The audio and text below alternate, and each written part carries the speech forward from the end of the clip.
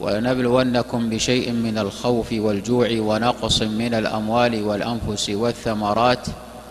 وبشر الصابرين الذين إذا أصابتهم مصيبة قالوا إنا لله وإنا إليه راجعون. أولئك عليهم صلوات من ربهم ورحمة وأولئك هم المهتدون.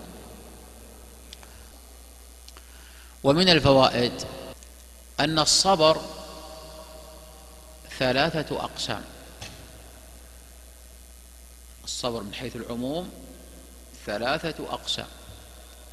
صبر على طاعة الله صبر عن معصية الله صبر على أقدار الله المؤلمة. في هذه الآية دليل على أي نوع؟ النوع الثالث الصبر على أقدار الله المؤلمة.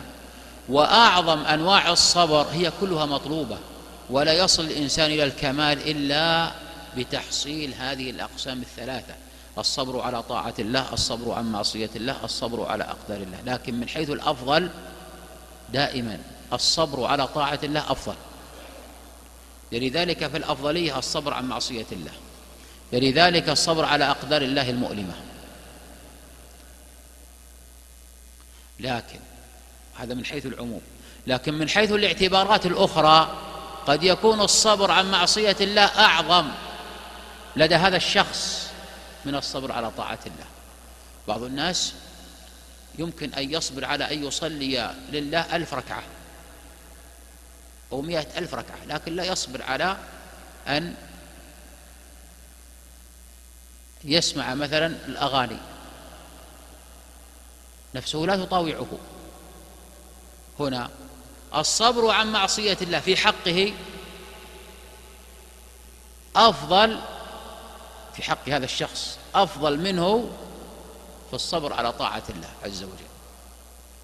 لكن من حيث العموم الصبر على طاعة الله هو في المقدمة ثم يليه الصبر عن معصية الله ثم الصبر على أقدار الله المؤلمة قد يصبر الإنسان على أن يصلي مئة ألف ركعة أو مليون ركعة ولا يصبر على فقد حبيب له من ولد ونحوه. إذن الصبر على أقدار الله المؤلمة لهذا الشخص هو أفضل لكن من حيث العموم كما أسلفت ولماذا كان الصبر على طاعة الله أعظم؟ لأن فيه فعلا وتركا. تفعل شيئا وتترك شيئا. إذا قمت بهذه العبادة فعلت شيئا وتركت شيئا. الصبر عن معصية الله فيها ترك فقط. يعني تمتنع عن الوقوع في هذه المعصية. الصبر على أقدار الله المؤلمة ليس لك لا ترك ولا فعل لأنها واقعة من الله عز وجل فلا فعل لك ولا ترك إلا بعد نزول المصيبة. فإنك تترك الجزع والتسخط وتفعل ما أمرت به من ما أتى به الشرع من القول عند نزول المصيبة.